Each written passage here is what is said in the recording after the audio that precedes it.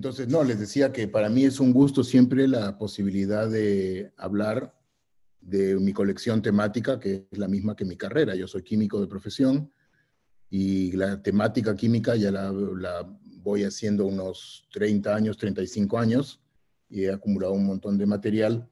Y son pocas las, las oportunidades que uno tiene de presentar al mismo tiempo, digamos, el hobby y la profesión que uno tiene. Por cierto que la filatelia yo la trato de usar también en, en mi enseñanza, en la comunicación de la ciencia, cosas que escribo para diferentes revistas y siempre uso la, filatelia como, para ilustrar lo, que escribo. Entonces, bueno, les voy a decir la, historia esta de la, de la, química. Este es el único, yo soy profesor de química, o sea que este es el único slide donde les tengo que poner una, una definición, aunque sea, la ciencia que estudia la composición y las propiedades de la materia y los cambios que ésta experimenta. Bueno, esa es una definición de texto de, Wikipedia. Pero lo interesante es que la química está, bueno, al, centro de muchas otras ramas de la ciencia. Tiene conexiones obvias con la física y la biología.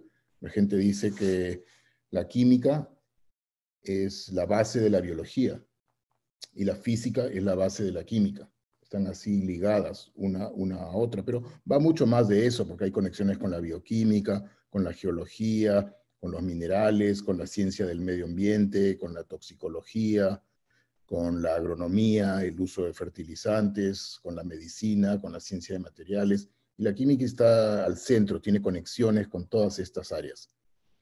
Esta historia de la ciencia central, de la química, está en esta, en esta estampilla de España es una del año 64, eran los 25 años del fin de la guerra civil en España, y esta estampilla es, muestra el árbol de la ciencia. Y aquí en el árbol de la ciencia aparece en una de las ramas la química. También está la física, las matemáticas, la biología, la filosofía, etc. ¿no? Y ahí está la química.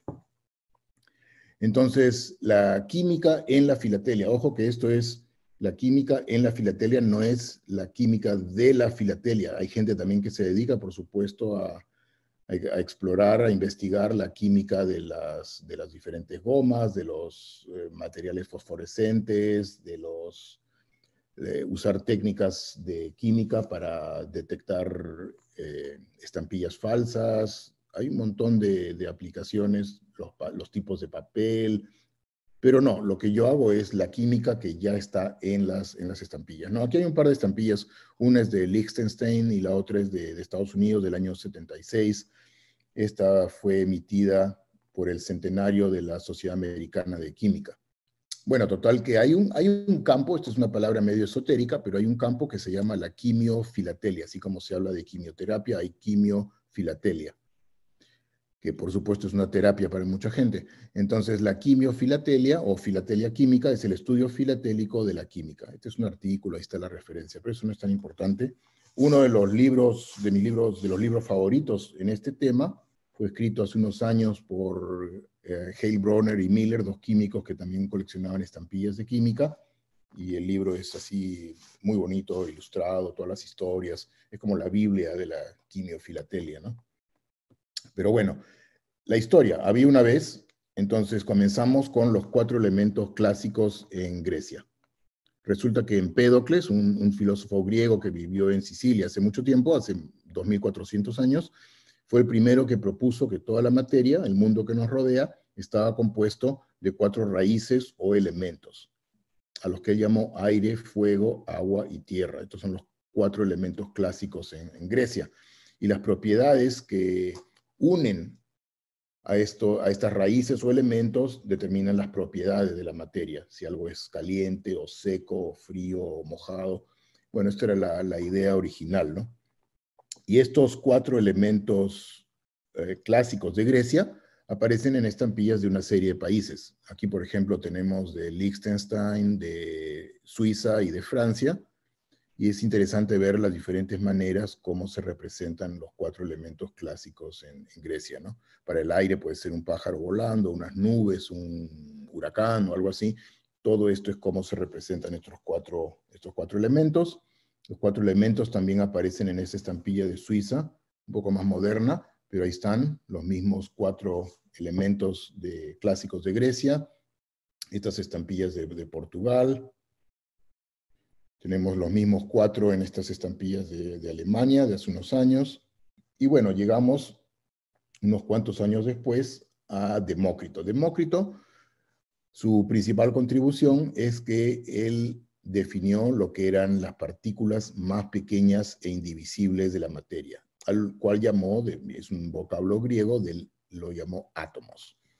Entonces, estas eran las partículas más pequeñas de, la materia. Entonces, bueno, ahí está Demócrito. Demócrito obviamente no era un químico, pero está ahí en, en las raíces de lo que llegaría a ser la, ciencia, la química, ¿no?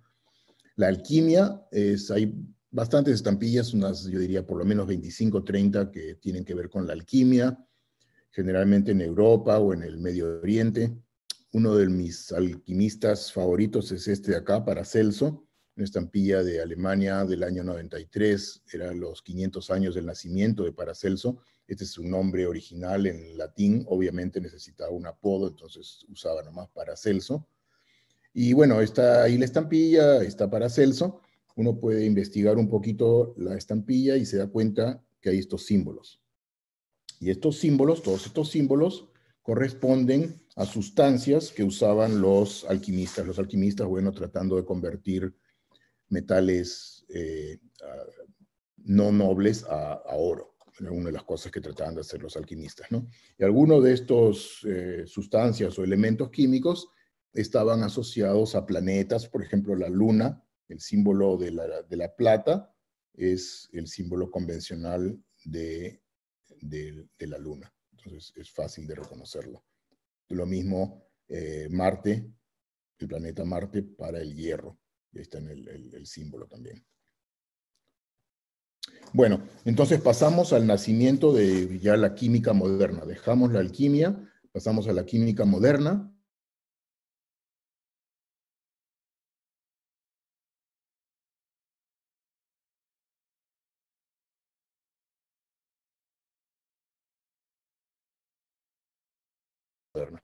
Ahí en una estampilla de Gran Bretaña.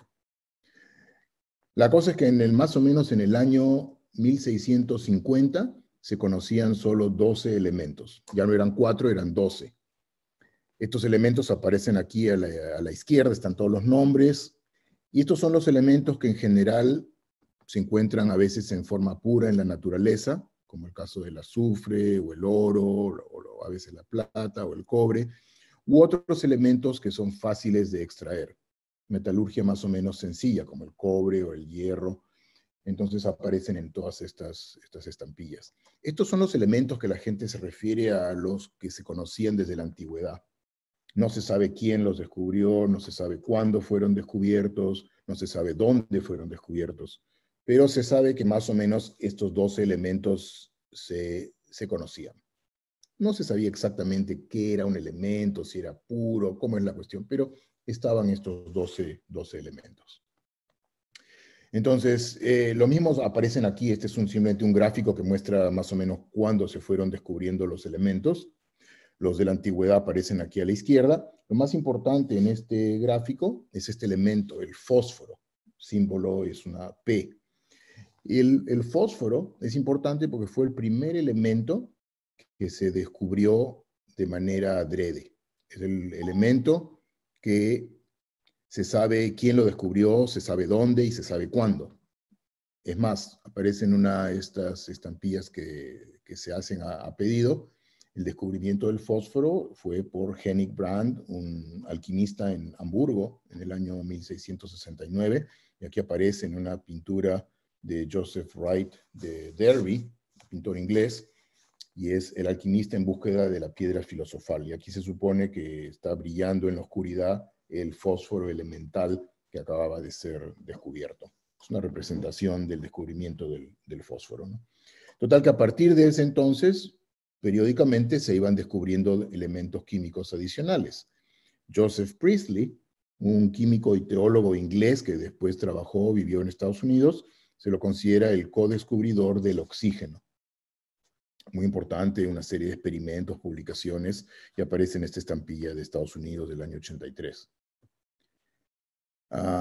pasamos al Lavoisier, tal vez hayan escuchado de Antoine Lavoisier, también se lo considera uno de los co-descubridores del oxígeno, eh, famoso químico francés. Aparece aquí una tarjeta máxima del año 43 con, con estampilla con Lavoisier. Y él aparece en unas cuatro o cinco estampillas de diferentes países, pero esta es una de esas tarjetas máximas. ¿no?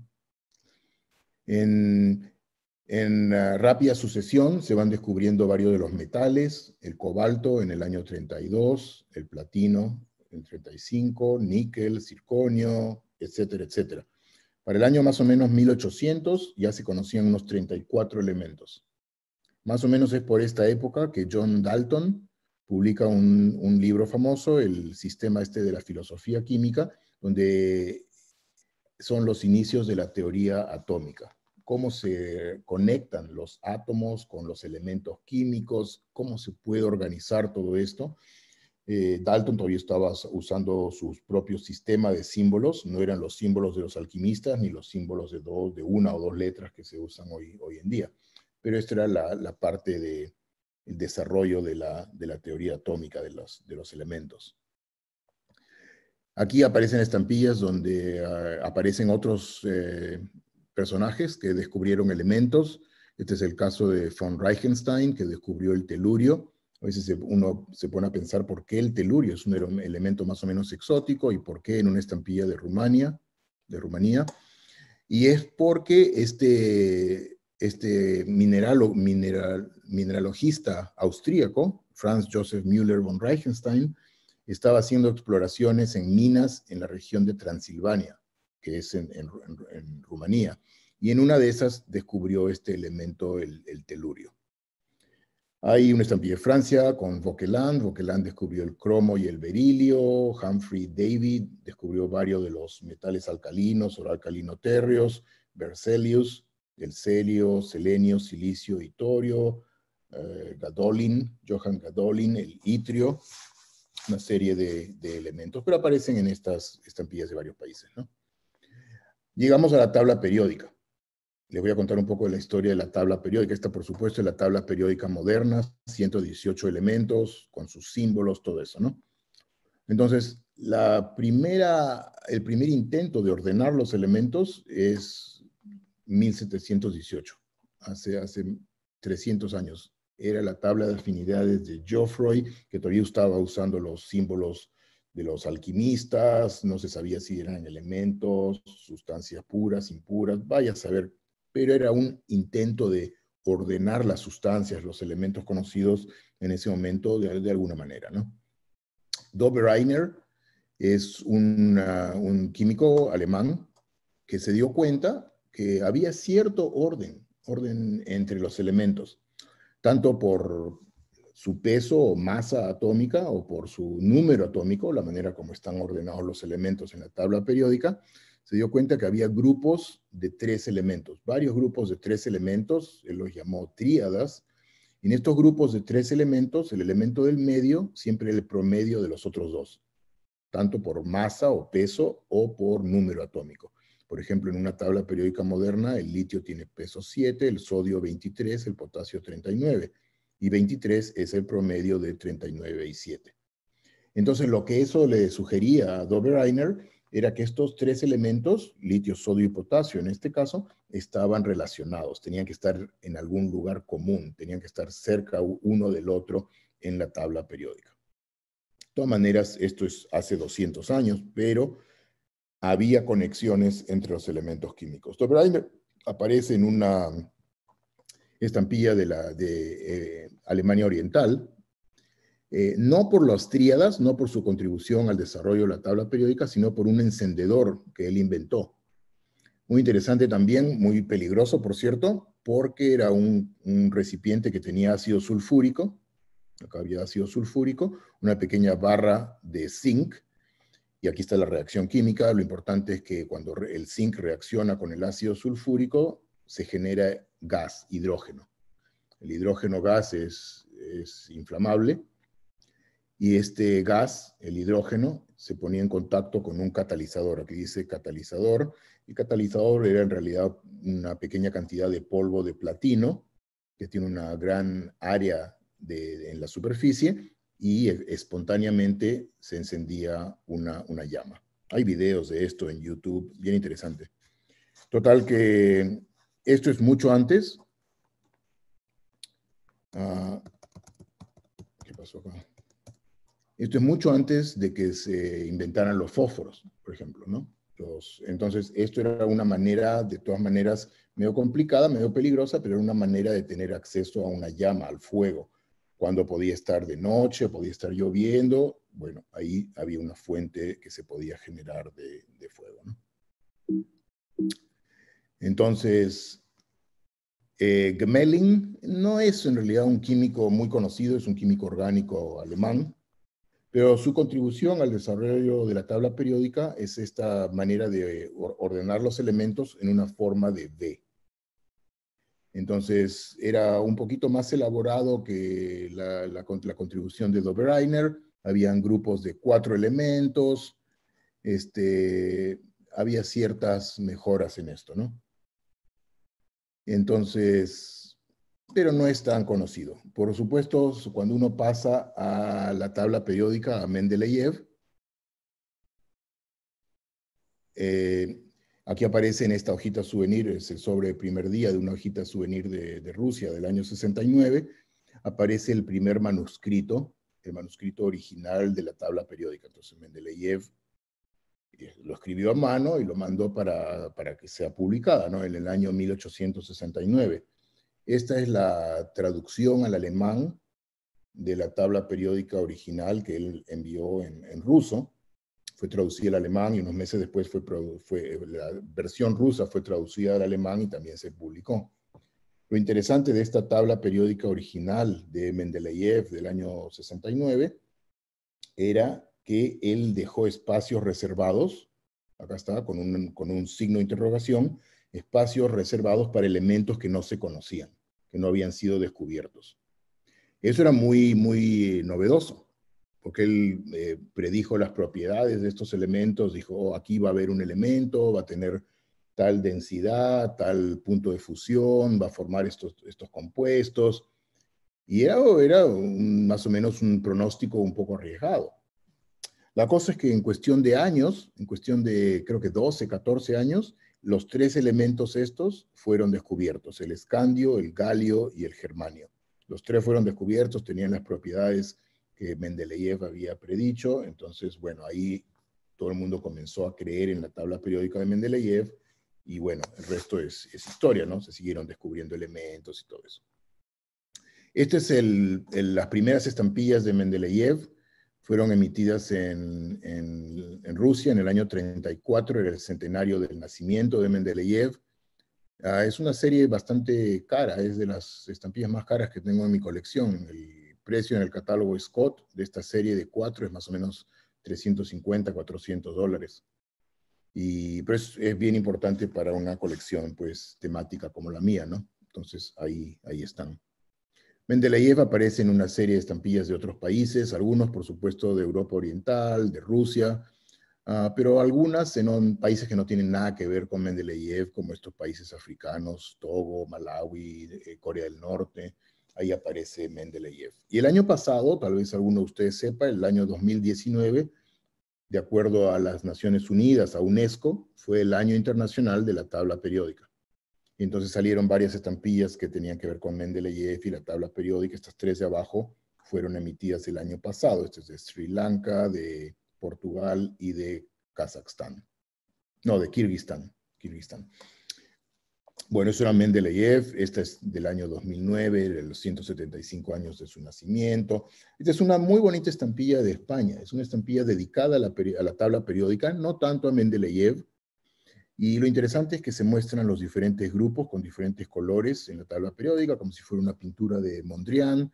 Están también los, los cuadraditos estos blancos para los elementos que no se conocían, cuyas propiedades fueron predichas por, por, Mendeleev. Y acá aparece también el medio 1, el tecnesio. El tecnesio es un elemento raro, radioactivo, es el único metal de transición que es radioactivo y este sí fue, se demoró unos 60 años en ser producido, mucho, mucho después, ¿no? Pero estos son los cuadraditos para el escandio, el galio y el germanio. Entonces, toda esta información aparece en una estampilla y uno puede mostrar la estampilla, por ejemplo, en una clase y motivo de discusión para los, con los alumnos, cómo se descubrían los elementos, las posiciones en la tabla periódica y todo eso. Ahora, químicos famosos de la época más o menos posterior a Mendeleev, el, uno de los más conocidos es Louis Pasteur, químico de profesión, químico, bacteriólogo. Muchas estampillas ah, hay con, con este Louis Pasteur, yo diría por lo menos unas 60, 70 estampillas con, con, con Pasteur. Esto muestro algunas acá, pero hay, hay muchas más. Alfred Nobel, también fue químico de profesión, el que inventó la dinamita, se llenó de dinero con eso y claro, a su muerte donó todo el dinero para la creación de los premios Nobel. Los premios Nobel comenzaron en el año 1901. Hay muchos premios Nobel que aparecen también en estampillas de diferentes países. Nobel mismo aparece como científico famoso, como el creador de los premios Nobel, aparece en estampillas de un montón de países diferentes. Eh, dentro de los premios Nobel de, química, quería mencionarles a Ernest Rutherford, porque en realidad era físico de profesión, pero en los años, en los primeros años del siglo XX, bueno, estaban los químicos trabajando con los físicos, tratando de entender la estructura del átomo, las partículas dentro del átomo, los protones y los neutrones y toda esa historia. Y aquí aparece en una estampilla con su famoso experimento de la lámina de oro, esos son detalles que nos gusta siempre enseñar en los, cursos de química. Bueno, la cosa es que Rutherford ganó el Premio Nobel de Química en 1908. Y poco después, un poco malagradecido, él dijo que la única ciencia es la física. El resto es filatelia. Esa es una historia legítima. Y entonces, esto como químico me molesta un poco. Recibió el premio Nobel de Química, pero dijo que el resto es, que la única ciencia que vale es la física. Pero como dijo que el resto es filatelia, bueno, la filatelia y la física por ahí van, por lo menos soy filatelista y eso me, alegra tener la bendición de, Rutherford. Bueno, Fritz Haber es el proceso Haber-Bosch para la producción industrial del amoníaco a partir del nitrógeno y el hidrógeno, estos gases, sumamente importante para la industria de explosivos, de fertilizantes, para producir ácido nítrico, muy, muy importante. Una vida muy, muy interesante también porque ganó el Premio Nobel de Química por, esto, por este proceso en el año 1918, pero, pero Haber también eh, fue un pionero en el uso de las armas químicas. él fue el que ordenó el uso de cloro, el tóxico durante la Primera Guerra Mundial y una vida muy complicada porque tenía raíces judías, pero después era un héroe en Alemania, pero después lo desterraron, su esposa se suicidó, toda una, una, vida fascinante, trágica y muy interesante desde, el punto de vista de, ciencia también. Hay varias biografías que se han escrito sobre, sobre este personaje, sobre Haber. Marie Curie, por ejemplo, por supuesto, que no era química en realidad, Marie Curie era física, y eh, estudió un poco de matemáticas.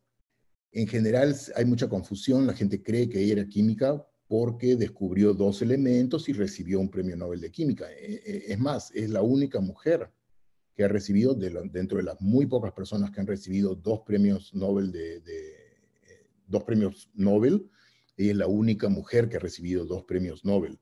Y ella lo hizo en física junto con su esposo, con Pierre Curie y con eh, eh, Henri Becquerel por el descubrimiento de la radioactividad. Eso fue el Premio Nobel de Física en 1903 y el Premio Nobel de, Química en 1911 lo ganó ella sola por el descubrimiento de dos elementos químicos, el radio y el polonio. Y era química lo que estaba haciendo, pero no es que ella haya sido química de profesión. Marie Curie sí aparece en estampillas, yo diría por lo menos 100, 120 estampillas, es un personaje muy conocido, es un, modelo para la abnegación, para el trabajo científico, y aparece en estampillas de un montón de, países. Hay unas cuantas estampillas donde aparece también junto con su esposo. Están estampillas donde aparece Pierre y Marie. Esta estampilla de Panamá es interesante porque es una de las pocas donde aparecen sus nombres en español. Aparece Pedro y María. una estampilla de Cuba, donde también aparecen los nombres en español. Pero en general, sea la que, sí se habla francés, claro, pero si se habla inglés o alemán o lo que fuera, generalmente sus nombres, Pierre y Marie, todo el mundo lo dice así, ¿no?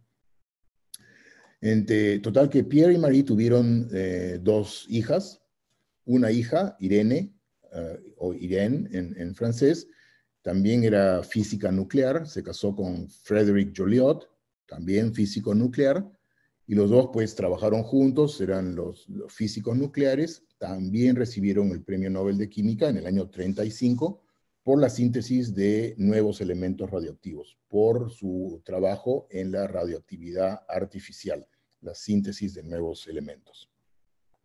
Total que es por esto que la gente se refiere a los Curie como la familia de los premios Nobel. Este es un pequeño árbol genealógico de la familia Curie, como ya les, dije antes, Pierre y Marie, junto con eh, Becquerel, recibieron el Premio Nobel de Física en 1903, Marie sola en Química, 1911. Aquí están las dos hijas que tuvieron. Eva, o Eve en, francés, es la única que no era científica en la familia, y Irene, que sí era, física nuclear, se casó con Frederick, y, bueno, ganaron el premio Nobel de Química. Se llevan cuatro personas que tenían premios Nobel en, la familia. Por la historia es todavía interesante porque resulta que Eva, que fue la que escribió la primera biografía de su mamá, 1937, 36, una cosa así, la primera biografía de su mamá, ella recién falleció hace unos años, a los 102 años en, en Nueva York vivía, falleció en el 2007, resulta que Eva se casó con un diplomático americano, este señor Henry Labouisse.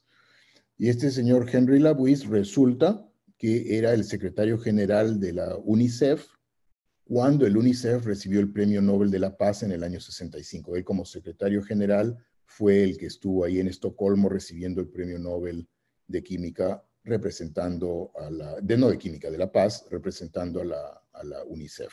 Entonces, otro premio Nobel ahí en la familia. Y otro detalle interesante en esta, en esta historia es que ellos no tuvieron hijos, Eva, pero Irene y Frederick tuvieron dos hijos, Elena y Pierre, Hélène y Pierre, que también son físicos nucleares, ya están mayorcitos, pero todavía están vivos. Y hace unos años tuve la suerte de ir a un congreso de, en un congreso de química, era el centenario del premio Nobel de Marie Curie en, en Varsovia, en, Polonia, y ahí están los nietos de Marie Curie, y yo pues me metí a la, a la foto, un amigo, un colega me dijo, ponte en la foto, y, bueno, me puse ahí detrás de ellos, ahí está la foto para la historia, con los nietos de, de Marie Curie. Por supuesto, después de tomar las fotos, yo ahí ni, corto ni perezoso, tenía a la mano un sobre primer día de la estampilla esta de Francia, y les pedí que lo, firmaran. Entonces es un sobre muy bonito, un recuerdo de esa ocasión, las firmas de los, de los nietos de Marie Curie en un sobre de primer día de Francia, donde la estampilla son sus padres. Entonces, esto es muy, muy interesante el recuerdo de esa, de esa ocasión. La fisión nuclear fue descubierta por Otto Hahn, Liz Meitner, y eh, eh, Hahn recibió el premio Nobel de Química en el año 44, no con Meitner, por cuestiones políticas, cuestiones de discriminación, estamos hablando de, durante la guerra en Alemania, muy complicado todo eso.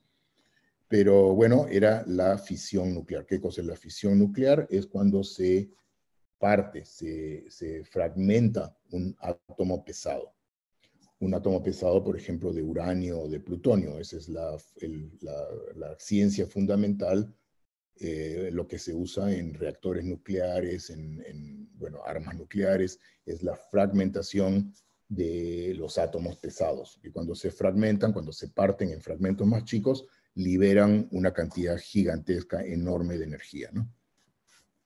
Y eso se puede usar para bien o para mal, pero bueno, eso es, eso es toda la cuestión, ¿no? sé por qué se me, se me duerme la computadora. Bueno, total que eso es la fisión nuclear. El, eso poco después llevó al descubrimiento de algunos de los elementos más pesados en la tabla periódica. Este es el caso del descubrimiento del elemento plutonio. En el año 41 fue descubierto en la Universidad de California en Berkeley, el equipo liderado por Glenn Seaborg. Glenn Seaborg descubrió varios elementos químicos y él compartió en el Premio Nobel de Química en 1951 con Edwin Macmillan por su descubrimiento en la química de los elementos transuránidos, es decir, elementos en la tabla periódica que venían después, más allá del, uranio, incluyendo el plutonio, pero varios elementos. ¿no?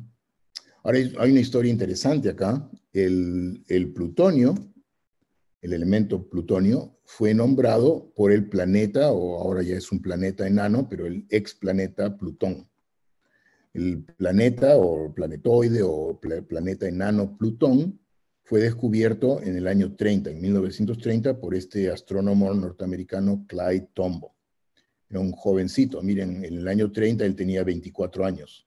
Era, todavía no se había graduado de la universidad, fue a trabajar a un observatorio, al observatorio Lowell, ahí en, California, y de manera sistemática exploró el, cielo y descubrió este elemento, el, no elemento, el, planeta, pues, al, que llamaron Plutón.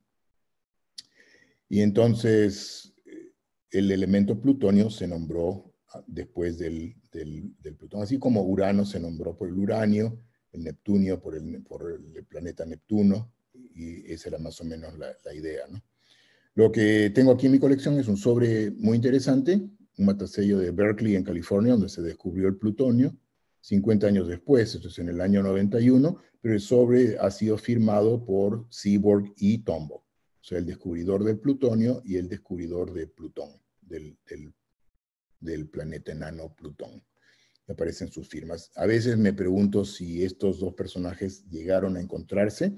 Encontré la información. Una sola vez en vida llegaron a encontrarse Seaborg y Tombo. Acá aparece este Seaborg y este es Tombo. En el año 91 hubo un encuentro ya, bueno, poco después ya pues fallecieron, ya eran mayores, ¿no? Pero es muy interesante eh, tener un sobre de esa ocasión. Yo no estuve presente ahí, este sobre lo conseguí años después, pero es un sobre muy interesante.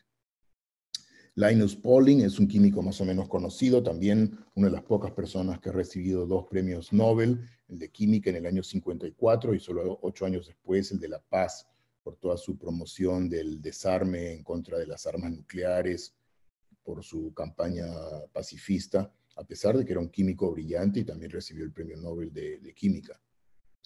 Eh, la química de los polímeros está representada en estas dos estampillas de Suecia y de Italia todo lo que son plásticos, materiales poliméricos que ahora pues dominan, dominan el mundo, el premio Nobel del año 63.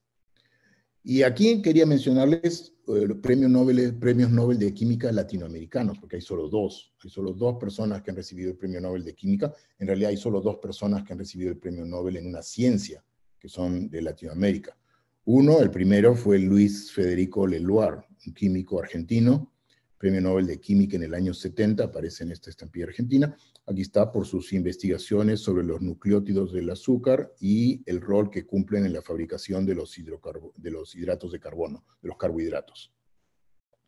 Esto aparece en esta estampilla de, de Argentina. Y bastante después hay una estampilla de México con Mario Molina. Mario Molina desgraciadamente falleció hace un par de meses, a comienzos de octubre, pero es el otro premio Nobel de Química, esta vez en el año 95, por su trabajo en la química atmosférica, especialmente la formación y la destrucción de la capa de ozono. Entonces, estos son los únicos dos latinoamericanos que han recibido premios Nobel en una ciencia, y en este caso es en, química. A Mario Molina lo conocí hace unos años, eh, hace unos 10 años más o menos, y le pedí que me firmara un, sobre, este es la estampilla de química común, pero ahí me firmó el sobre, es un bonito recuerdo de la vez que conocí a, Mario Molina. Átomos y elementos. Este es otro tema, ya cambiando, saliendo más o menos de la parte histórica de esta presentación. Tenemos una serie de estampillas que muestran átomos, generalmente asociados a energía nuclear. Entonces ahí están el símbolo de los átomos, reactores nucleares, Estampillas más elaboradas, como por ejemplo esta, muestran este átomo pesado que se supone que es uranio o tal vez plutonio para la generación de energía eléctrica, ¿no? los reactores nucleares. Esta estampilla de Corea del Norte muestra el carbono o para el uso que se usa en lápices, ¿no? el grafito. Esta es una de mis estampillas favoritas, no solo porque muestra una molécula bastante complicada, es el Buckminster fullereno, es una molécula que tiene esta fórmula C60, es una nueva forma de carbono que se descubrió en el año 1985, que tiene esta forma, es una, como una forma como una pelota de fútbol. Son 60 vértices, son 12 pentágonos que están todos, todos conectados. Pero lo interesante, a pesar de, además de ser una estampilla interesante desde el punto de vista de química, es que fue impresa con tinta termocrómica es una tinta que cambia de color con la temperatura. Entonces uno puede tocar, sostener la estampilla entre, entre dos o tres dedos y cambia el color. Y lo que revela es que en el interior hay un círculo negro que se supone es un átomo de un gas noble, posiblemente helio, que está atrapado dentro de esta molécula de C60. Esto es investigación que se ha hecho en química para eh, tratar de más o menos determinar el tamaño de, esta esfera, qué, elementos se pueden capturar dentro de la esfera. Es, toda esta es investigación que se ha hecho y mostrar esta pareja de estampillas en una clase pues fomenta la discusión, el interés de los alumnos. Aquí tenemos eh, el azufre, el mercurio, con una muestra del cinabrio, este mineral rojo, otros elementos químicos, estampillas de Sudáfrica, manganeso, cromo, vanadio y, titanio. Ahí aparecen también los, los, símbolos. Una estampilla triangular de Cuba, específicamente para el níquel. Varias estampillas hay de varios países con el cobre. Estas son de Filipinas, de Chipre y de, Estados Unidos. El oro, el oro aparece en un montón de, estampillas. Y esto es el oro elemental. Si uno incluye en una colección temática eh, piezas arqueológicas, artesanías, objetos de oro, pues hay, hay cientos, casi todos los países tratan de poner alguna de esas.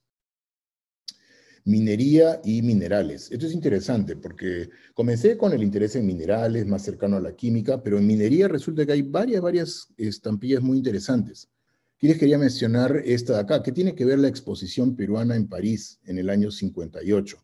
Es una serie de cuatro estampillas emitida en Perú en el año 58, pero la que me interesa a mí es esta estampilla de acá, porque muestra los productos de exportación del Perú.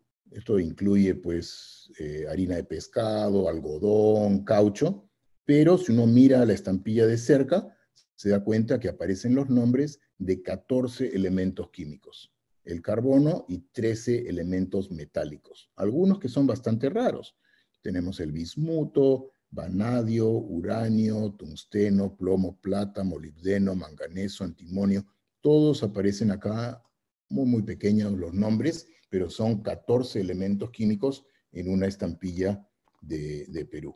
Es una de mis favoritas también. Y hablando de minería, la minería en el Perú es, sumamente importante, es aproximadamente 20% del Producto Bruto Interno del, país, es, por la minería. A nivel de Latinoamérica, no a nivel mundial, pero a nivel de Latinoamérica, el Perú es el primer productor de zinc, oro y plomo. Y es el segundo productor de cobre, plata, molibdeno, cadmio y estaño que es el, Perú como país minero. Estas son algunas estampillas de Perú con, minerales, hay, hay, varias, varias de estas. No quería tampoco dejar pasar la oportunidad de mencionarles un poco de la minería en otros países de Latinoamérica. Los países, así son tres países más, son cuatro los países en realidad en Latinoamérica que son países mineros por, por excelencia. Uno de ellos es también México. México es el primer productor mundial de plata. Ya hay varias estampillas que tienen que ver con minas o minería o elementos. Esta estampilla de acá, por ejemplo, es parte de una hojita, de un pliego con 20 estampillas diferentes, con, minerales. Hay un montón de estas estampillas, estas son solo algunas. También hay una estampilla interesante que muestra a Andrés Manuel del Río. Andrés Manuel del Río era un mineral, minerálogo, minerálogo español, pero hizo casi toda su carrera, vivió en México y fue, se lo considera, el descubridor del elemento vanadio. El elemento vanadio con símbolo B es el único elemento químico que ha sido descubierto en México. y es uno de los tres elementos que ha sido descubiertos por un español, pero bueno, este español estaba trabajando en, México, Andrés Manuel del Río, y un pionero de la industria minera metalúrgica en, México hace 200 años. ¿Qué otro país tiene mucha minería? Por supuesto, Chile, primer productor mundial de cobre, el cobre aparece en por lo menos 10 o 15 estampillas de, Chile. Estas dos de acá son las famosas minas El Teniente y de Chuquicamata. Esa estampilla mucho más antigua, la nacionalización del cobre en el año 69. Lo interesante es que aquí aparece como el tema central en esa estampilla el símbolo alquímico del cobre, que aparece acá, en esta estampilla. Este es el símbolo alquímico del, cobre. Y también hay estampillas de Chile que muestran salitre, que muestran otros minerales, que muestran una serie de productos de exportación. Estas son solo algunas para, para mostrarles. ¿no? ¿Qué otro país? La minería en Bolivia. Bolivia, primer productor mundial del estaño o por lo menos a nivel de Latinoamérica. No estoy seguro si en China tienen más estaño que, en Bolivia, pero bueno, la cosa es que aparecen estas estampillas, varios minerales, estampillas de Bolivia. Aquí aparece en este Simposio Internacional del Estaño también el símbolo alquímico del estaño. Acá aparece el símbolo SN, es el símbolo del, estaño. Es uno de los principales productos de exportación en, en Bolivia. Y el otro país, bueno, estos son los cuatro países entonces que tienen mucha minería, ¿no? México, Perú, Chile y, Bolivia. Pero hay un montón de estampillas que tienen minerales. Yo diría que hay por lo menos 400, 500 estampillas, tal vez más, que muestran minerales.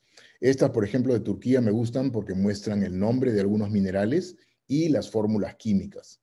Aquí está el sulfuro de antimonio, es la antimonita, y entonces sirven para hablar de estos, de estos temas. Estampillas de, Grecia que muestran también muestras de diferentes minerales, especímenes minerales en estas estampillas de, de China, estampillas de Bulgaria. Estas son solo unas cuantas series, pero hay muchas, muchas estampillas con minerales. Estas son bien interesantes de Ucrania, donde esta hojita de seis estampillas aparecen seis triángulos equiláteros.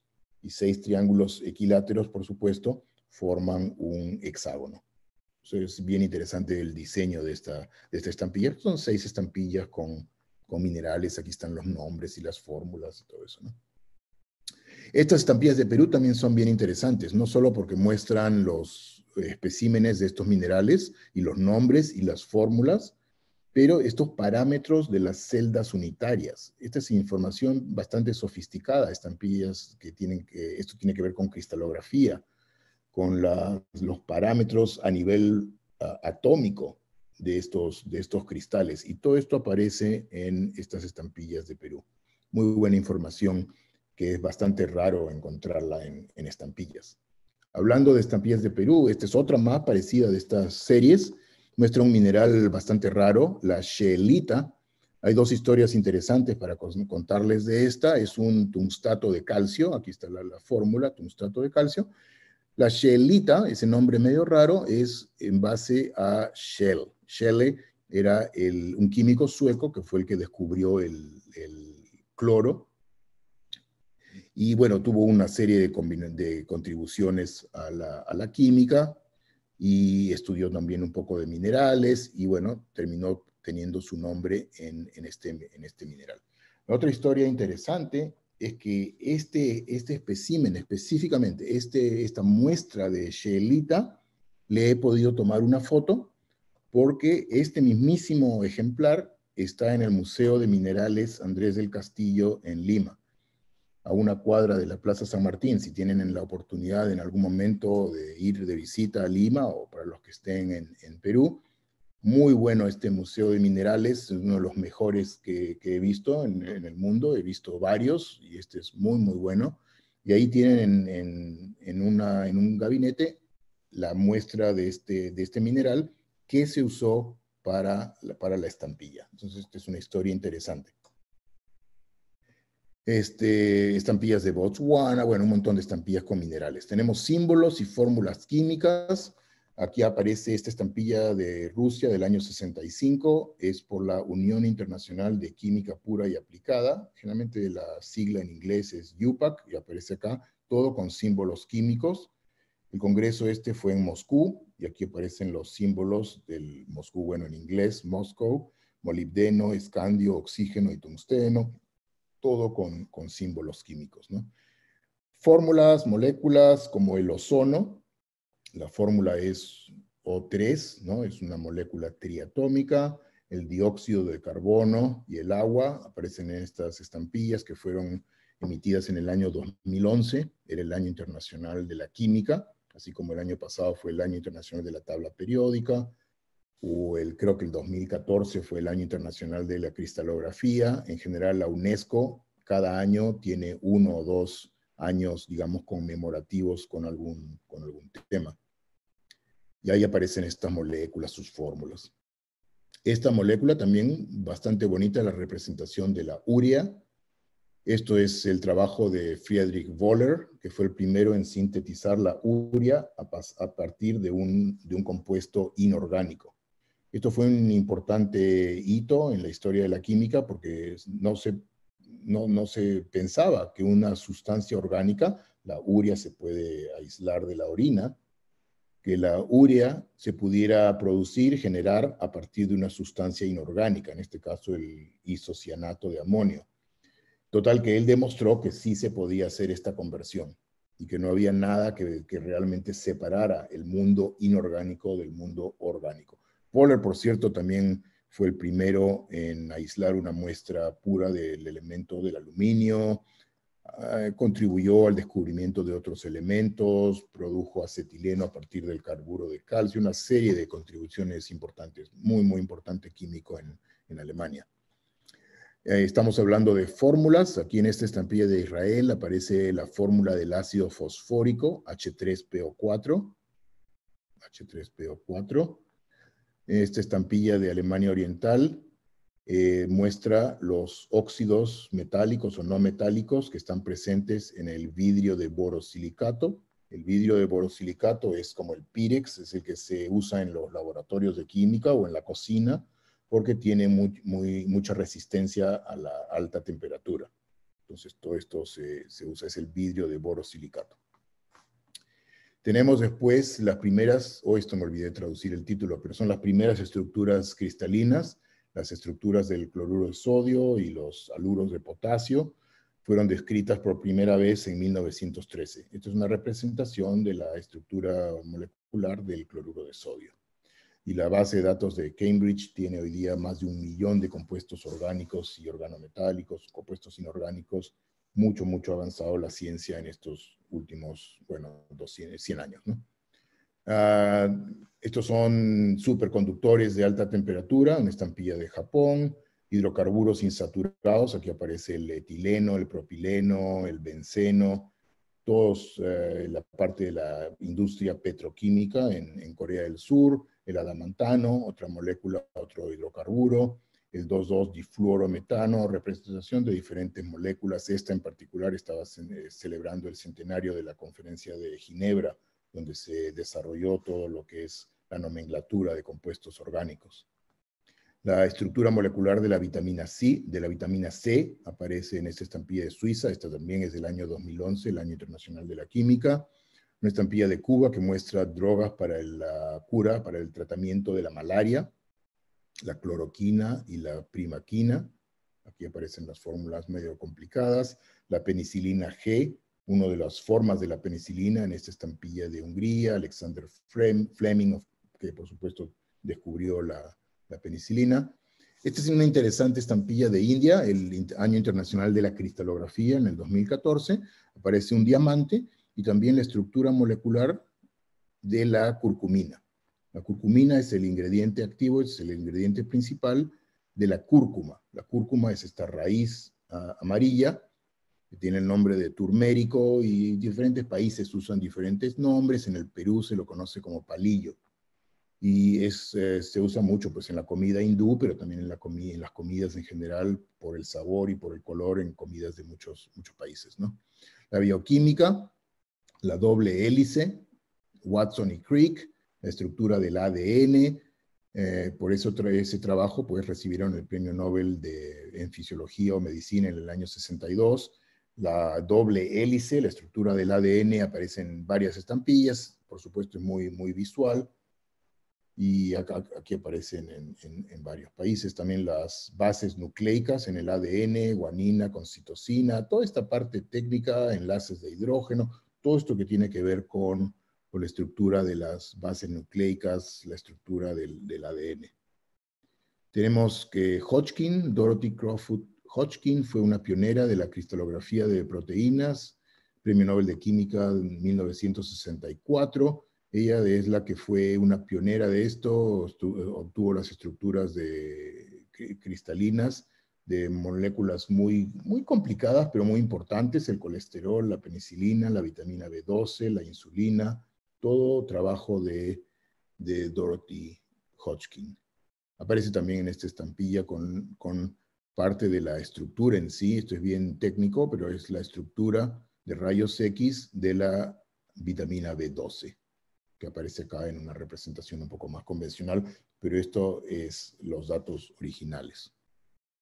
estas estampillas de Israel muestran moléculas aún más complicadas, la ubiquitina y, el ribosoma, que es para la síntesis o el reciclaje, la destrucción de proteínas, y todos estos aparecen en, estas estampillas, premios Nobel de Química 2004 y 2009. Equipo de vidrio también aparece en, estampillas de una serie de países. Tenemos retortas, equipo de destilación, condensadores, matraces, todo equipo de vidrio que se usa en los laboratorios, estudiantes de química y químicos aparecen en una serie de estampillas.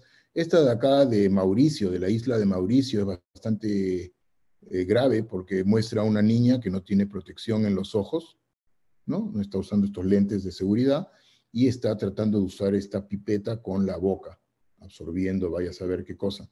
Lo peor de todo es que esta estampilla estaba celebrando, se supone, el Año Internacional del Niño, 1979. Sin embargo, no están protegiendo muy bien a esta, esta niña, ¿no?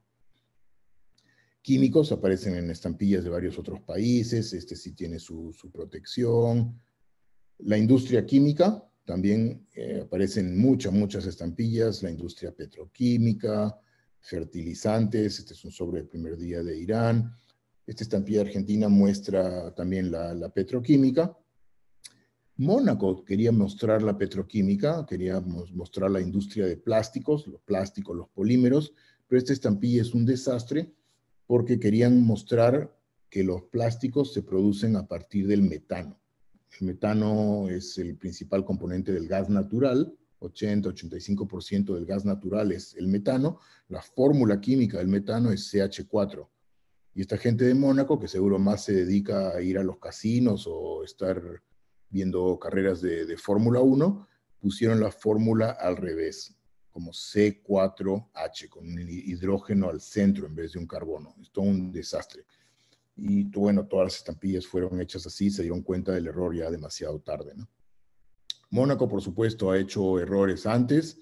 El presidente Roosevelt en Estados Unidos era un filatelista más o menos conocido. Aquí está con, una, con sus álbumes de estampillas, una lupa con sus estampillas y aparentemente la, la estampilla muestra que él tenía seis dedos en su mano izquierda, que es una locura, pues yo estoy seguro que él no tenía seis dedos en su mano izquierda, ¿no? Ahí pueden contar los dedos y ver que aparecen seis. Muy inusual, muy inusual. Esta historia se cuenta en detalle en un número más o menos reciente de la revista, de la, revista periódica de la, de la, Sociedad Americana de Filatelia. Una, la reina Elizabeth, muy joven, en esta estampilla de las islas Fiji para el oro, la sal, el cemento, jabón, todos son ejemplos de la industria química. Y bueno, para concluir, antes de pasar a, no sé, a preguntas, a conversaciones, quería mostrarles dos piezas favoritas de mi colección. Uno es un, sobre que estuvo en el, en el Hindenburg, cuando yo hablo del hidrógeno, de las propiedades del hidrógeno, la flamabilidad del hidrógeno. Muestro este sobre circulado que salió de Stuttgart, en Alemania, el 6 de mayo del año 36, 6, 5, 36 era el primer vuelo del año 36 de Stuttgart, en Alemania, a Lakehurst, en, New Jersey, en Estados Unidos. Creo que este año hubieron 16, 17 vuelos del Hindenburg, este fue del, primer vuelo. Y bueno, este sobre continuaba después su viaje a California por, no sé, por burro, por tren, no sé por qué iría, pero bueno, la cosa es que este sobre estuvo en el Hindenburg. La fecha es también interesante porque el 6 de mayo del año 36 es exactamente un año antes del primer vuelo del año 37, que fue el primero y último vuelo del año 37, porque ahí es cuando el Hindenburg, llegando a, Lakehurst, llegando a su estación ahí en, en New Jersey, eh, se prendió fuego y murieron como 30 personas, fue toda una tragedia. De esto hay libros y películas y todo eso, ¿no? Y después este es un, sobre muy interesante que conseguí en eBay hace unos años, donde aparecen las firmas de 10 premios Nobel de química diferentes. Yo tengo varios de estos autógrafos en mi colección, pero generalmente cuando obtengo uno, lo escaneo y lo guardo Nunca voy a estar llevando el mismo sobre a congresos de química y estar colectando firmas en el mismo sobre. Pero alguien se tomó la molestia de hacer eso y aquí aparecen las firmas de 10 premios Nobel diferentes de química, ya todos fallecidos, algunos más conocidos que otros. Seaborg, por ejemplo, firmó esto. Y bueno, esta es una pieza muy interesante para, para conversación, 10 premios Nobel de, química, una, una, una, una pieza única realmente, ¿no? quería mostrarles que eh, hay una asociación de personas que coleccionan estampillas que tienen que ver con química y física. Obviamente yo no soy el único. Esta es una de las organizaciones que está afiliada a la American Topical Association. Es una organización sin fines de lucro que promueve el estudio filatélico de la química y física, etc. ¿no? Tenemos una página web, ahí hay artículos, una serie de información, publicamos una revista, la Filatelia Química et Física, es interesante. Yo fui el editor de esta revista por unos 10 años, hace, hasta el año 2015 más o menos, una serie de artículos para los que están en esto, ¿no? Y yo periódicamente escribo en esta revista Chemistry International, que es la revista trimestral de noticias de la UPAC. Entonces ahí siempre muestro cada tres meses una estampilla de, que tiene algo que ver con química, una pequeña historia, generalmente media página, una página, es como mi columna. Esto ya lo hago desde hace unos 15 años. Entonces hay un montón de estos artículos que se pueden encontrar muy fácil en, en la internet. Y, bueno, con eso solo quería incluir en este último slide mi dirección de email. Porque claro, creo que el video se va, va, a estar en YouTube. Creo que la versión PDF de esta presentación, Henry o la van a poner en algún, en algún sitio, en, en mi oficina. Y, pero el que también esté interesado en cualquier imagen me puede mandar un, un email y les mando las imágenes que quieran, curiosidad en si en algún país existen estampillas de química, algún tema, algún personaje. Entonces, con gusto les puedo mandar las imágenes. Gracias por su atención y ahora que, que siga la fiesta. Muchas gracias, Daniel. Muy interesante. Gracias, Daniel. Y como siempre, no nos vamos por las preguntas. David. David. Daniel, quiero enseñarte de la que tú mostraste una curiosidad que no sé tú conozcas. Puedes poner un sello de Israel del año 72, donde están las fórmulas químicas. Sí, sí. Está antes de, antes de los cristales. Claro, claro, claro. Uh, ¿Conoces la historia de ese sello o no? ¿Esto de acá? Ah, voy a hacer el... Por favor. Ese. Claro. Vean bien las fórmulas. ¿Le ven alguna cosa rara? Ya, bueno, esa es la fórmula, ¿no? De, de la fuerza, masa por aceleración. ¿No? la fórmula de Newton. Y arriba la de matemática. La, de abajo arriba, sí tiene- la, la de, la de Pitágoras. No, no, sí, no. abajo es la del El cuadrado el binomio. binomio cuadrado. Sin tanto detalle, algo más básico que eso. El- no, no está el signo de más. ¿Quién ve el signo de más? Ah, pues ahí sí, pues está medio, medio... Resulta que el servicio de Israel, en su folleto, que aquí lo tengo, publicó, Oh, publicó cómo iba a ser el sello. Y algún religioso, partido religioso, algún rabino, no le gustó que estuviera el signo de más porque lo confundieran con una cruz. Ah, qué interesante. Lo cambiaron y salió un mes después de lo que lo habían anunciado. Lo habían anunciado para diciembre del 71 y salió en enero del 72 por ese detalle. Ah, qué interesante, esa historia no la sabía. Sí, sí, luego, yo nada más tengo aquí una de una revista, no tengo nada, ahí lo, a logran ver. Una tiene el signo más y el otro no. O sea que refundaron el signo más. Sí. Pero No. ¿existen las que tienen el signo más o no? No creo. ¿O nunca se emitió? Pues sí, no, yo, no lo, yo no lo encuentro. Ni pruebas ni nada. No es el único sello de Israel alterado. Por ejemplo, en la religión judía no se puede escribir el nombre de Dios y hay unas de sinagogas que lo borraron también Oh. antes de emitirlo. Mm. Ah, ese detalle, ese de la historia de eso no lo, no lo sabía. Qué interesante. El fanatismo está por todos lados. Uno siempre aprende. Sí, Sí, me- ese más queda ridículo. Pero bueno. Pero no es error, es a propósito. Sí, sí, sí, sí, no, es obvio, claro. Todos son iguales, sí. Pero, ah, ¿Otras preguntas por ahí? Estuvo interesante ese detalle. No lo sí. ¿Puedo hacer una pregunta? Adelante. Claro, claro. Eh, mire, quiero, quiero preguntarle sobre la, sobre la estampilla de Mónaco del, del presidente Roosevelt con el, el, erro- el error de los dedos, ¿verdad? Claro.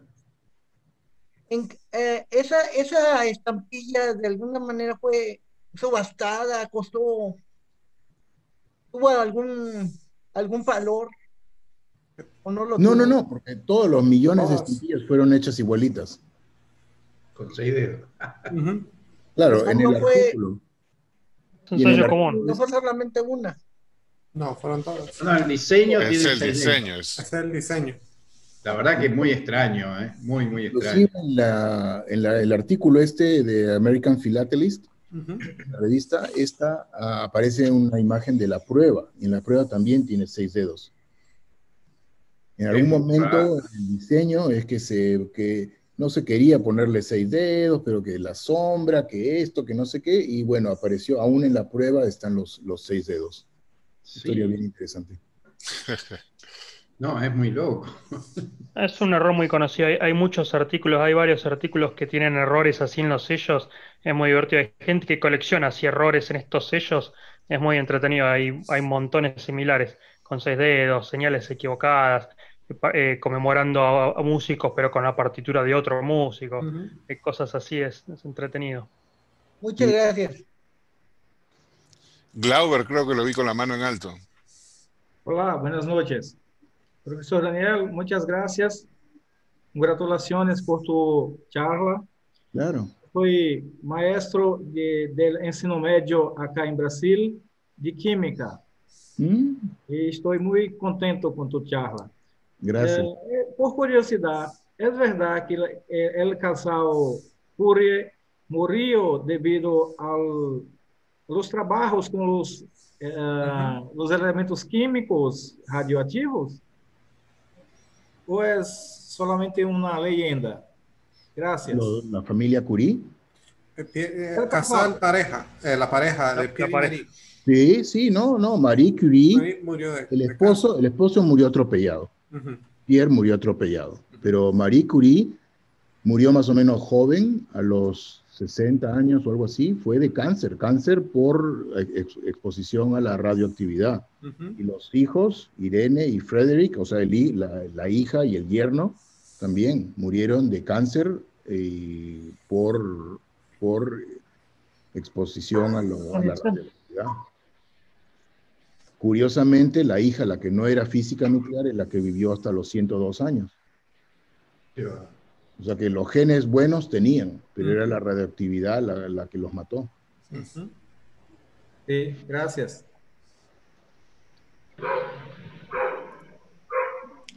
Mauricio, Eh, primero, Daniel, felicidades, muy interesante. Yo como químico farmacéutico disfruté el doble y filatelista disfruté el doble de tu conferencia y al fin sé quién es el, el que, la persona que hace estos bonitos artículos en Chemistry International, que por cierto ya me acordaste que tengo que renovar mi suscripción a UPAC. así que no lo he hecho, pero ya algo que está pendiente, pero me gustan mucho, sobre todo estos artículos, muy interesantes. Gracias por tu presentación, muy bonito todo. Un comentario, no, no la mostré ahora, ¿no? Pero hay una estampilla peruana que muestra a un santo peruano, San Martín de Porres, y que lo tengo en la colección porque en el Perú es el patrono de los químicos farmacéuticos. Mm. Y la estampilla está con San Martín de Porres, dice ahí, patrono de los químicos farmacéuticos. Gracias. Interesante. No sé si hay alguien más por ahí con alguna pregunta para Daniel. Adelante, Etna. Claro, claro. Bueno, eh, Daniel, felicidades. Yo también, como igual que Mauricio, soy colega de Mauricio y me hiciste recordar, por supuesto, todas las, clases que tuve de, química inorgánica, eh, donde nos teníamos que aprender la tabla periódica al revés y al derecho. Y es muy entretenido verlo desde el punto de vista de, de los descubridores de los elementos.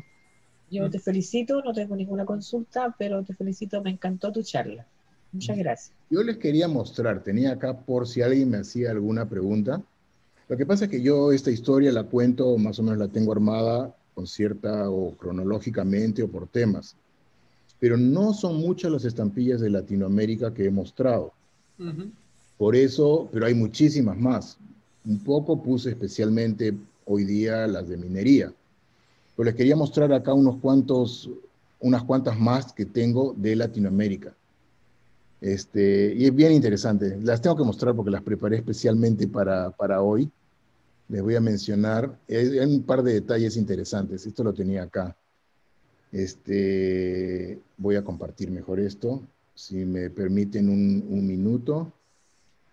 Ah, ¿Estoy compartiendo o no? Sí, sí, ahí la vemos. Ya. Entonces, este, ¿cómo es esto? Sí, sí está, sí está, ¿no? Sí, el mundo de la química, Daniel Rabinovich, eso. Entonces, eh, quería mostrar algunas más de Latinoamérica porque es bien interesante. Total, que tenemos estampillas, por ejemplo, estas son, yo estoy viendo aquí, estas son de México, o sea, estoy más o menos comenzando de, yendo de, de norte a sur. Hay muchas estampillas de México, pero estas son las que no son de minería, la industria del cemento, el ADN, la capa de ozono, equipo de laboratorio. Tengo después estas otras estampillas que son eh, de, pasamos a Centroamérica, un par de Costa Rica, del azúcar, los fósforos, esta de Honduras. De Guatemala no hay tanto de química, pero aquí están las celdas solares, energía solar. Este señor, Salvador Moncada, premio Nobel de Medicina y Fisiología en el año 98, eh, por el descubrimiento de las propiedades del óxido nítrico, el NO, óxido nítrico en, la sangre. Muy importante. Esta aparece en esa estampilla de Honduras, ¿no? Esta también de Nicaragua. Aquí está Louis Pasteur, Marie Curie. Y tal vez algunos se sorprendan que en la misma serie de estampillas de Marie Curie aparece también Margaret Thatcher. No porque fuera la, dama de hierro, ahí está el nombre del elemento también, no porque ella en realidad antes de, dedicarse a la política eh, estudió química. No solo eso, sino que ella hizo investigación en cristalografía con Dorothy Crawford Hodgkin. Y bueno, después de eso se casó, ya se dedicó a la, peli, a la política y todo eso, ¿no? Pero ahí la tengo en la colección porque es de estudios originales fueron en, química, ¿no? Eh, algunas de estas de Panamá, hay cuatro o cinco series de estas estampillas con Pedro y María Curie, pero hay otras estampillas, este, aquí dice Guillermo Patterson, padre de la química en Panamá. También acá, química en Panamá, una destilación. Hay estampillas de Venezuela, la industria del aluminio, la industria petroquímica, hay muchas más. Estampillas de Colombia, esmeraldas, por supuesto, minas de platino, minas de oro, y estas son minas de esmeralda, el, el carbón. Estas son dos de Ecuador, una es solo de un átomo, pero la otra es muy interesante porque muestra el C60, ese Buckminster fullereno que les mostré antes, en esta estampilla de, Ecuador. Brasil, por supuesto, minerales, la industria del manganeso, el dióxido de carbono, Louis Pasteur, fórmulas acá del fluoruro de sodio, fórmula del agua, H2O, todo esto en esta estampilla era para un congreso de, odontología. Y estampillas de Paraguay, que muestran también Marie Curie, Pasteur, 80 años de la Facultad de Ciencias Químicas. Y estas son de Argentina, hay muchas también, minerales, el monox prevención de la, toxicidad del monóxido de carbono, la industria del aluminio. Este es un químico también no muy conocido, Pedro Arata. Curiosamente, la estampilla fue usada para un sobre. Este es un sobre bastante raro porque es bien específico. Era para un matasello para la inauguración en Buenos Aires de un monumento a Marie Curie en el año 69.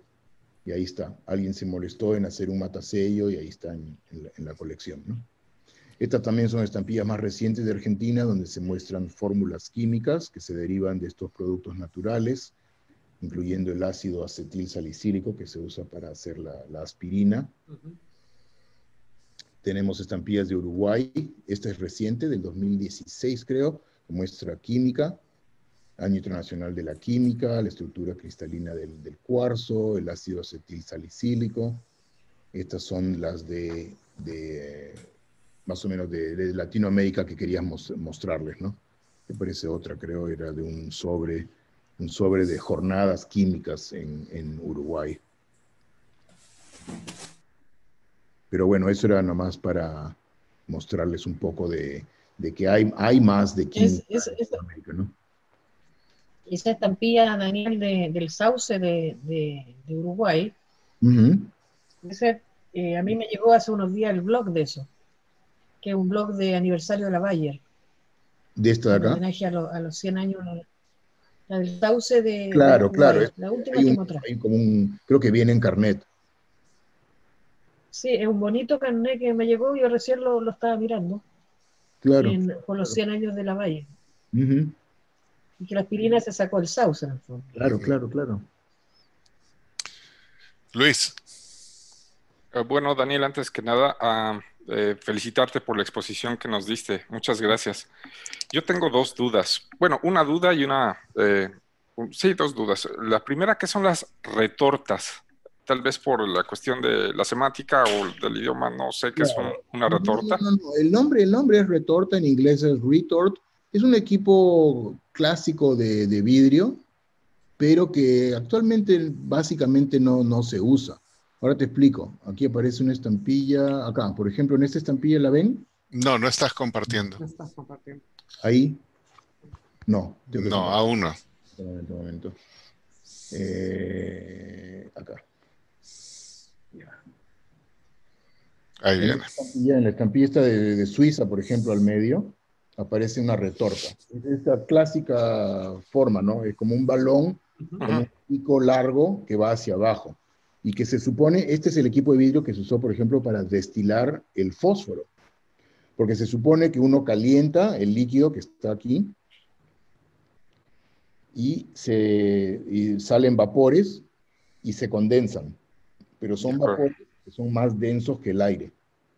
Entonces, generalmente el producto, sea un líquido o un sólido, se colecta bajo, bajo agua. Hoy en día hay equipo de, vidrio más común que se usa, retortas, ahora no se queda solo como símbolo de la química o de la farmacia. Pero yo jamás he usado una retorta. Pero el nombre es... es... Retorta.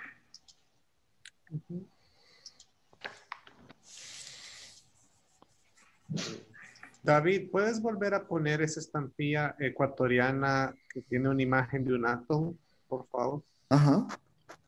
es que me llamó la atención algo, pero sí, de las que mostraste después al final. Sí, sí, esa la mostré antes también, pero... Sí, de esta. Es que me llamó la atención que hayan representado un átomo sin núcleo.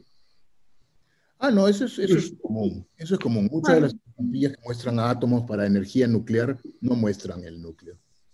Eso es común. Ah, pero se muestran en general de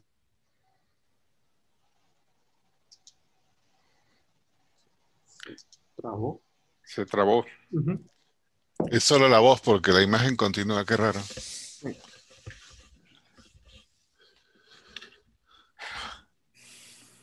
Um, la época en que se usaban los dólares como moneda en, en Ecuador. Las dos son más o menos recientes. ¿no? Sí, sí. ya. Eh, bueno, quería también preguntar, eh, hay una hojilla que presentaste antes de presentar las, los timbres de Dorothy Crowfoot, Ajá. eh, que me llamó la atención que está, tiene algunos sin- signos en, que es chino, es, eh, eh, creo que es la 101. No. Claro, claro. Esta de acá. ¿De qué país es? Porque, Macao. De Ah, no, no, la pasaste un poco, bueno, no, no alcancé a ver de qué país era. Claro, Ya. claro, es de Macao y muestra las bases nucleicas, estas GC, AT, siempre aparecen en, la- en los ADN, en el código genético, cuando hacen este, la secuencia, por ejemplo, todo esto es, es el símbolo de estas bases nucleicas, ¿no?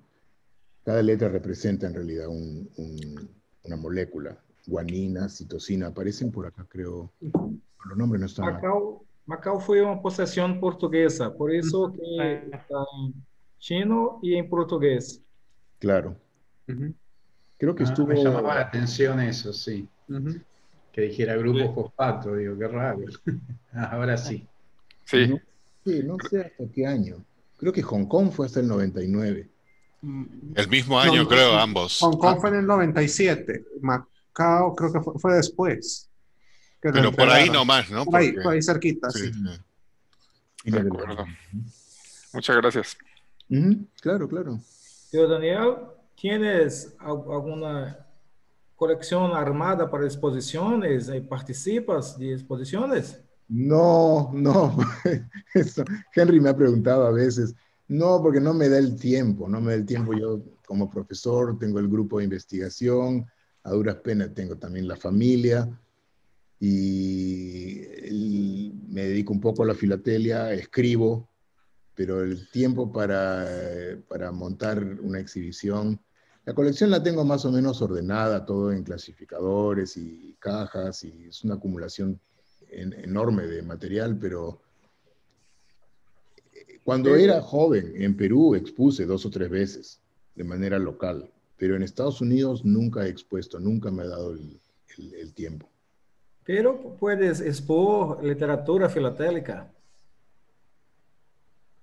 Eso sí, o sea, la revista esta que yo edité en una época, la Filatelia Química et Física, ha estado en, en competiciones de literatura Ujú. filatélica. Todavía se publica y todo, ¿no? Perfecto. Para, para aumentar algo la, la respuesta de Daniel sin consultarle a él, yo creo que también parte de que no tiene tiempo es que le gusta el heavy metal. Pero eso siempre se puede hacer mientras uno escucha la música, se puede hacer otras cosas. Exacto. Claro. Son 40 años de John Lennon, ¿no? Hoy día, claro. Así es. Dakota. Ahí hay otra mano en alto, Rolando. Rafael no convida al No ice sé, si, cream. no sé si saben, pero esto se salió en la revista esta de la el American Philatelist, que John Lennon fue coleccionista de estampillas. Sí, claro. Sí, sí. Mm. En en la exposición de Nueva York en el 2016 estaba el álbum de infancia de John Lennon. está en exhibición ahí en el, en el museo, en el Smithsonian. También. Buenas noches. Buenas noches, Daniel. Buenas noches. Eh, ¿Qué tal? Buenas. Eh, ante todo, felicitarte por tu exposición muy, muy bonita. Mí- yo también le he disfrutado, digamos, el doble, porque yo también, yo trabajo en el área de ciencias de los materiales, un poquito, y estamos un poquito metidos en esto. Tengo una colección de minerales también. Oh, qué bueno. y ya pues un poco por ahí, por ahí el tema, ¿no? Eh, yo quería de repente eh, motivarte, porque dada la profesión noble eh, de la química, de repente nos puedes orientar un poco en algún momento sobre el tema de la, la química de la filatelia, ¿no? Eh, un poquito el tema de que poder un poquito entrar en las tintas, en los papeles, en las técnicas que se pueden utilizar. Acá en el país ya ha incrementado de una manera importante en Perú, por ejemplo, eh, la masa crítica de gente que puede un poquito eh, hablar de estos temas y también la, la cantidad de equipos científicos que, que puedan permitir de repente mejorar ¿no? en este tema, particularmente la filatelia peruana, ¿no? De repente algo de eso, de repente te... Claro, te- claro. Este, verlo, ¿no? sabe. Henry, ¿sabe cómo se llama esta asociación de la que tiene una sigla de tres letras? De la eh, Institute de Filatelia Analítica, sí. Claro. Y hay gente que usa todas técnicas espectroscópicas para estudiar las estampillas, las tintas, los papeles, para... Y tienen, ya han hecho como creo que cada dos años tienen un congreso internacional que es, bueno, este año fue online y fue gratuito, y muestran todos los estudios, la detección de falsificaciones, estudios de, diferentes eh, emisiones, diferentes tirajes, mucho, mucho. Hace poco leí un artículo, creo que no es, no es reciente, es de hace dos o tres años, un artículo que se llama Filatelia Forense. Es en inglés, pero el, el, nombre del artículo es Filatelia Forense. Es un artículo largo, como de 20 páginas, donde resume todas las diferentes técnicas que se usan para estudiar estampillas. No es química en la filatelia, sino de, la, de las estampillas. Si me mandas un, un email, te mando una copia del artículo a quien quiera. Daniel, si me lo envías a mí, lo pongo ahí con el video. Ya, claro, claro. Excelente. Fantástico. Muchas eh, gracias por la respuesta. Sí. Daniel, en esa, misma, en esa misma línea yo hacer una pregunta similar. ¿Tú has usado esos equipos, el X-Raman, todo eso? Yo sé que son carísimos y bueno, quizás hayan alternativas, pero digamos, para determinar, eh, eh, digamos, la edad de una tinta, la oxidación y todo eso. Y te doy un ejemplo, es un ejemplo tangible. Eh, por intermedio de un coleccionista de Perú, nosotros esto, llegamos a conocer al, a una persona que, voy a reservarme el nombre, pero era el DIN en una universidad grande del departamento de química y también tenía conexiones con uh, digamos, instituciones que se dedican a hacer este tipo de análisis de documentos antiguos para determinar veracidad y todo eso. Y como por mucho tiempo hubo una controversia sobre unas piezas de Perú, eh, gracias a, al estudio que hizo él, que fue un estudio bien, le llevó mucho tiempo. Recuerdo que usaba eh, espectrografía fluorescente, X-Raman y una serie de cosas. Y hizo también que todo un análisis no destructivo y llegó a determinar esta tinta es esta composición química y corresponde a este año y corresponde a esta edad y corresponde a todas estas cosas. Eh, todo ese estudio me imagino de que viene como una cosa más grande que quizás se usará, qué sé yo, por no sé, legalmente o, en, otra o en otra rama que realmente necesite precisión de tiempo. Eh, ¿tú, has, ¿tú, has, participado en algún tipo de ese estudio? ¿Sabes de algo de eso? ¿Conoces mm. algún libro, algo que te pueda guiar?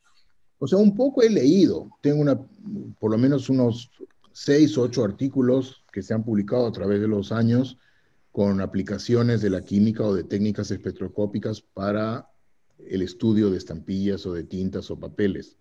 Yo tengo una colega en el departamento en, donde yo estoy que tiene un microscopio Raman. Y estas son de las técnicas más, más poderosas porque son no destructivas, o sea, no necesitan malograr la estampilla, ¿no? Obviamente. Exacto. Y la fluorescencia de rayos X, hay una serie de, de estas, eso no tenemos nosotros, pero ahí, ahí, está ahí, ella tiene microscopio, un microscopio Raman que tranquilamente se podría usar. He tenido la curiosidad, poner ahí una estampilla, una estampilla que tenga, digamos, como prueba nomás, ¿no? Dos emisiones diferentes, de años diferentes, a ver si hay alguna diferencia en, las, en las tintas o en el reverso, ¿no? En el papel. Siempre he tenido la curiosidad, me ha provocado, pero también no, nunca he tenido el tiempo porque porque bueno, el tiempo es limitado, ¿no? Exacto. Pero sí, sí me, sí, o sea, tengo acceso a algunos equipos que, podrían, que, la gente ha usado, ¿no? Y ese microscopio X-Raman, ¿qué es lo que te, te indica? Eh, son, es como si fuese, eh, lo que te indica es las moléculas, las vibraciones de las moléculas que están en la superficie, que en este caso es, digamos, la tinta en parte ¿no? de más arriba, en la capa superior de una, de una estampilla. Sí. Esta colega usa el microscopio, obviamente, para otras cosas, que es la detección de moléculas en, en cosas de química forense. Una mezcla compleja, por ejemplo, donde hay 100 moléculas diferentes, pero tú tratas de observar una en particular para detectar trazas, por ejemplo, de, de cocaína en una mezcla muy complicada. Ujú. Y, y e- ese es, o sea, es una técnica poderosa, pero no es, no es fácil de usarla, no es tan fácil de interpretar los datos. Claro. Y, pero tarde o temprano lo voy a hacer, porque teniendo ella el equipo ahí nomás, está al frente de mi oficina, es siempre la tentación, ¿no? Sí, eso está. eh, eh, yo lo vi un par de veces y una vez también estuve en el, en el museo en Washington y ahí tienen parte de esas cosas, pero es bien, bien interesante. Sí, sí, sí. Ah, acá en Perú tenemos en la PUC, tenemos un espectrómetro Raman, tenemos espectrometría infrarroja también tenemos. Entonces, ahí hay algunas inquietudes también, al menos por parte mía, ¿no? Porque tengo un poco de acceso a ello. Y yo también trabajo en la Universidad Católica, por ejemplo, ¿no? Ah, qué bien, yo me gradué, yo me gradué de la católica.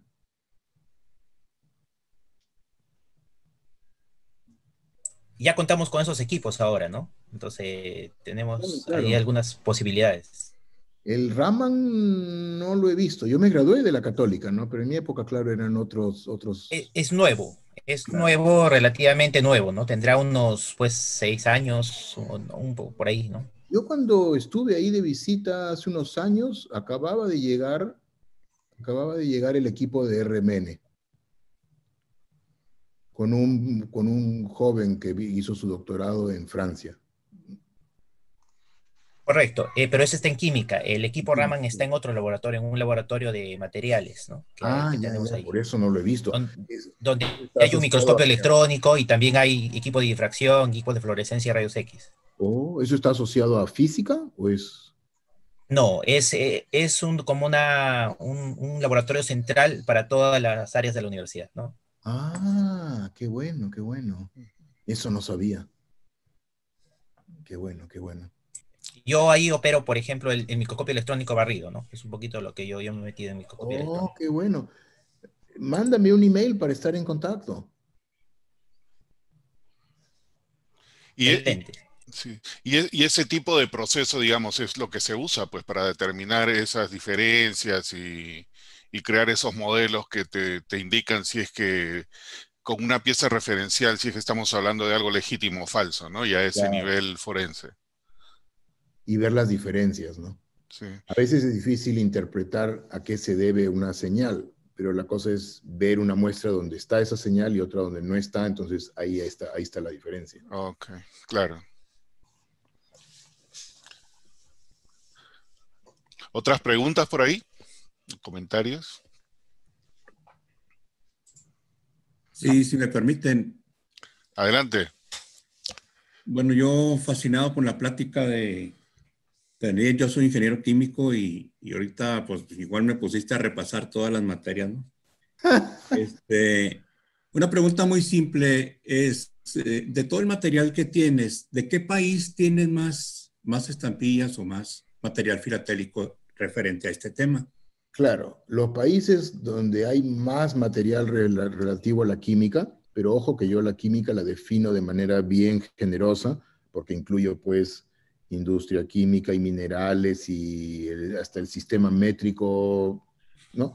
Pero la mayor cantidad de estampillas creo que están en dos países, en Francia y en Rusia. Son países que tienen bastante historia química, bastante, están bastante orgullosos de su historia de química y, y hay mucho, mucho, mucho material. Francia y, y Rusia. Muy bien, gracias, Daniel.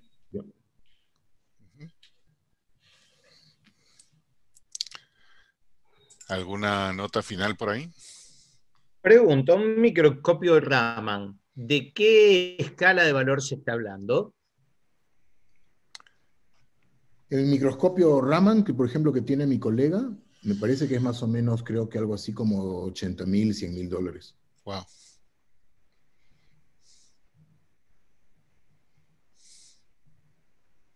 Es, eh, no creo que me deje usarlo. Yo le tengo que dar las estampillas a ella.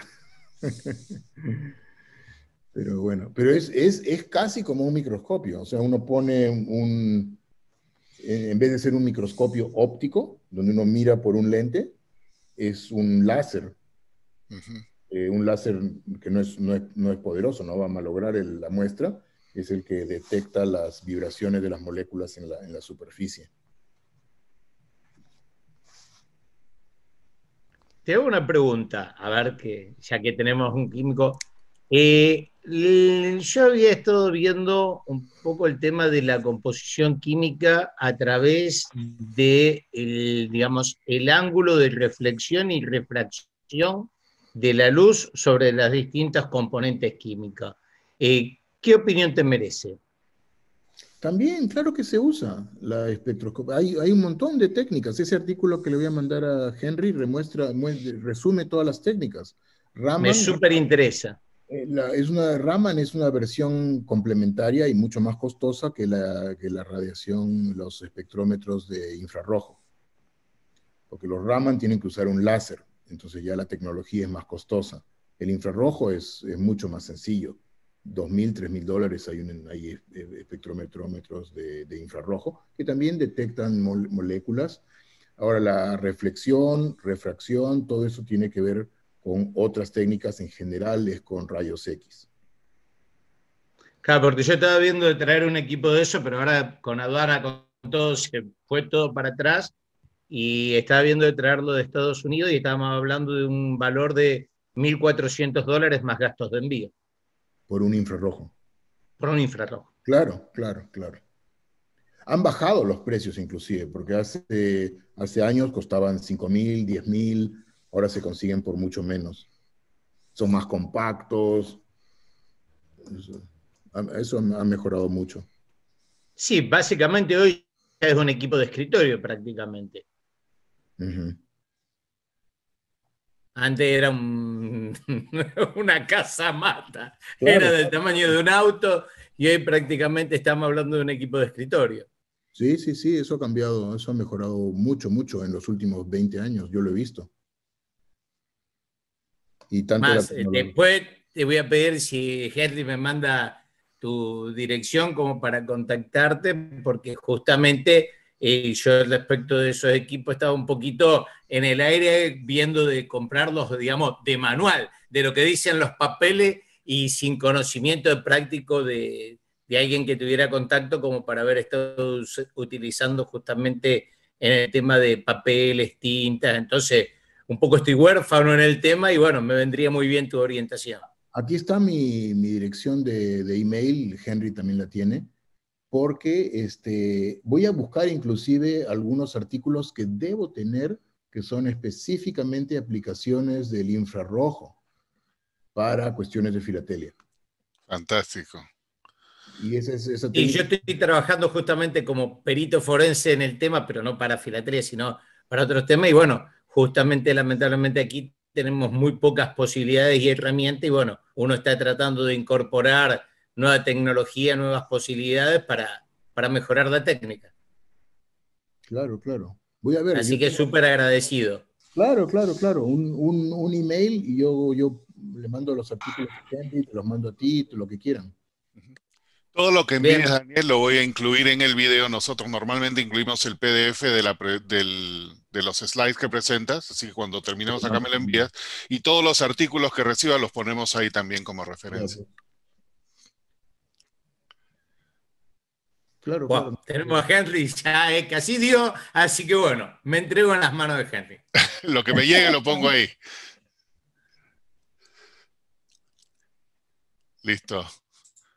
Bueno, con eso entonces creo que concluimos. Y Daniel, nuevamente muchas gracias, muy interesante. muy buena. Gusto. Gracias a todos. Saber de todo esto y de las técnicas y lo que, lo que sigue, ¿no? Escriban, ahí tienen mi dirección de email para seguir en contacto y nos veremos en, en, la oficina. Acá estamos todas las noches hasta que digan que la vacuna funciona. Bueno, y el día de mañana...